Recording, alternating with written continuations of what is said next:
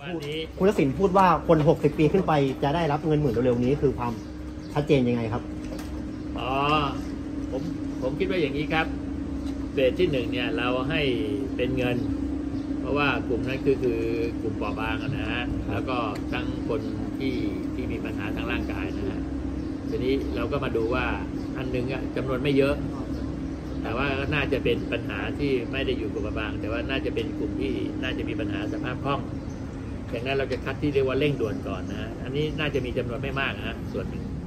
ก็ถ้าทำได้เราก็คิดว่าอันนี้น่าจะเอาเข้ามาขั้นก่อนนะครับมีเร็วเร็วที่สุดเมื่อไหร่ครับจะได้เมื่อไหร่ครับก็ก็เดี๋ยวเดี๋ยวเราเอาแนวเข้าฮะหลักการเข้าไปมันวิธีทำมันไม่ยากครับแล้วอย่างนี้สิทธิ์จะไม่ทับกับกลุ่มเปราะบางใช่ไหมครับคนสำหรับคนอายุ60ปีขึ้นไปก็ต้องไม่ทำนะครับ ไม่ทำนะครับก็คือต้องอยู่ใน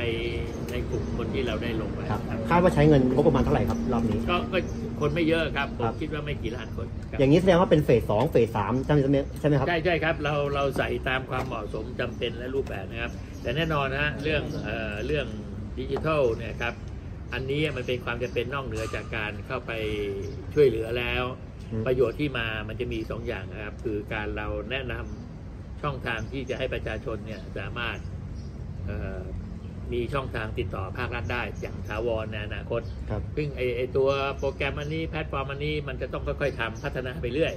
นะครับ และอีกหน่อยรูปแบบมันก็จะเปลี่ยนไปตามความต้องการแล้วอันที่สองเมื่อมีอันนี้เนี่ยก็อย่างน้อยทำให้คนเริ่มคุ้นเคยกับการใช้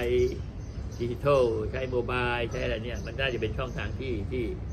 มีประสิทธิภาพมากที่สุดครับแต่ส่วนเรื่องว่าเราใช้เครื่องมืออันไหน เราจะใช้ ตัว